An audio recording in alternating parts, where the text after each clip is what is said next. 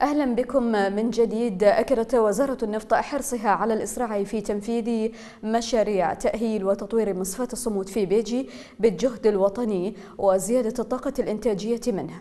وقال وكيل الوزارة لشؤون التصفية حمد يونس إن من المؤمل أن يشهد إنتاج المصفاة ارتفاعا قبل نهاية العام الجاري مبينا إن الإنتاج الحالي يزيد على 45 ألف برميل يوميا.